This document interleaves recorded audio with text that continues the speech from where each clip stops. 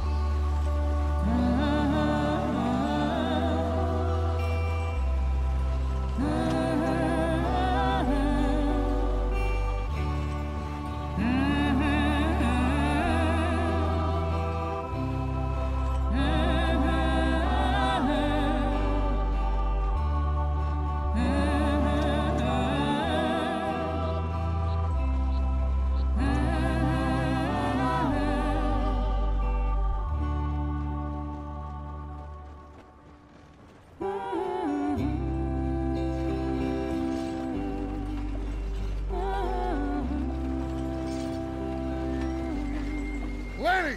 Micah, get over here! Yes, boss. You two ride up ahead, make sure there's no surprises. We've had enough of those. Me with the boy? Just go. Come on, kid. You can buy me a whiskey.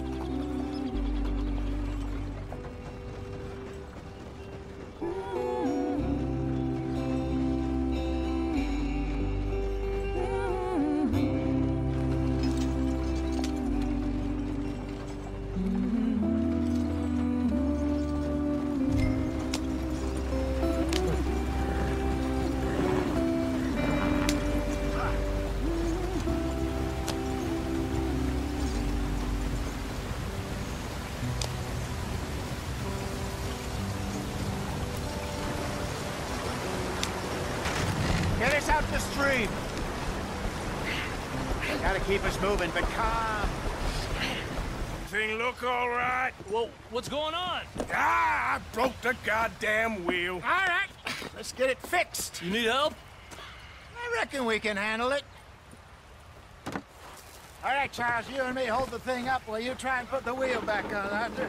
You still strong enough to hold up a wagon? Shut up. I'm just saying. Don't say less. Pick the wheel up.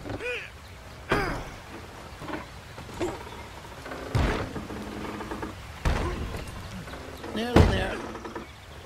There. See?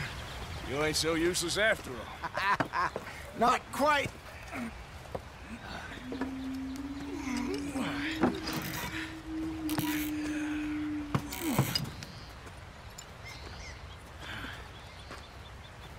Think? If they wanted trouble, we wouldn't have seen them. Poor bastards. We really screwed them over down here. Come on, let's not push our luck. What happened? Well, get in. I'll tell you.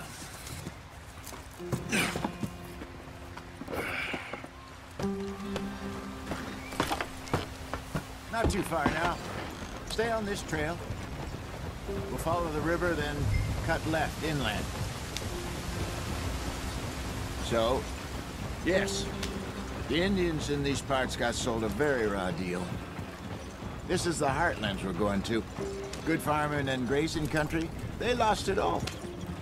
Stolen clean away from them it was, every blade of grass. Killed or herded up to the reservations in the middle of nowhere. And how's that different from anywhere else? Well, maybe it's not. I just heard some of the army out here was particularly, uh, unpleasant about it. Unpleasant. How do you rob and kill people pleasantly? We don't, in spite of Dutch's talk. I fear I was perhaps trying to simplify something more complicated for the benefit of our block-headed driver here. Hey, don't blame it on me. Never forget, this here's a con man, Charles, born and bred. Just 'cause it sounds fancy don't mean he knows a damn thing about what he's talking about. So, what happened to your tribe? I don't even know if I have one. At least, not that I can remember. The three of us fled.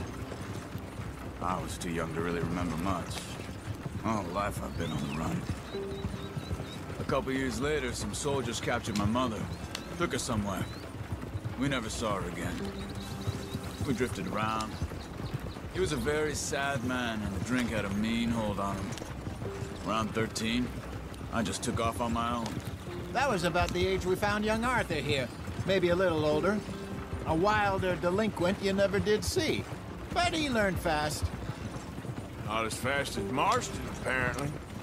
Wait, I don't understand. What's the problem between you two? Arthur?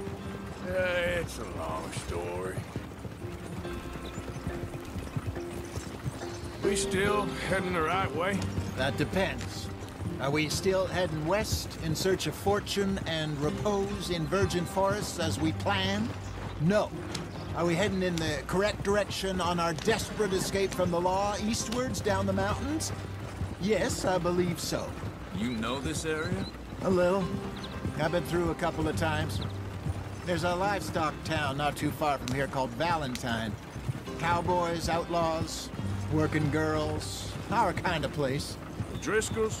Probably them too. Pinkertons? Let's hope not. And this place we're going. Wait, but what's it called again? Horseshoe Overlook. It's a good place to lie low? It'll do for now. And how low do you think Dutch is really going to lie? It's just, you know, maybe it's me who's changed, not him, but we kept telling him that ferry job didn't feel right. You and me had a real lead in Blackwater that could have worked out. Maybe. It just isn't like Dutch to lose his head like that. Things go wrong sometimes. People die. It's the way it is. Always has been. Me, you, Dutch. We've all been in this line of work a long time. And we're still here, so... I figure we must have got it right a hell of a lot more than we got it wrong.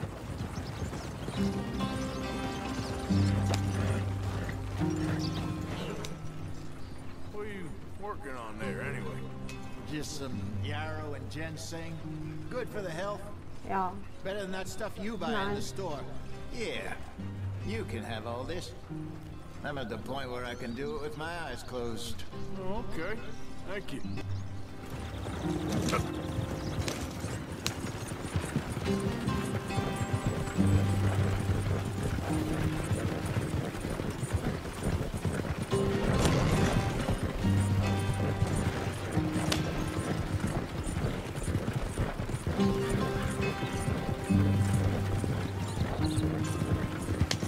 You are, brother. Head in there and follow the track for a bit. Thanks. Hey, slow up. I'll jump on.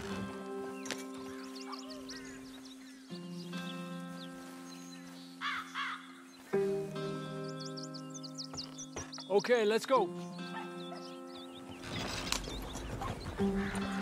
Any trouble getting in here, Javier? Nope. It went well. This is a good spot. Excellent. I think this'll work for us, Arthur. For now, anyway.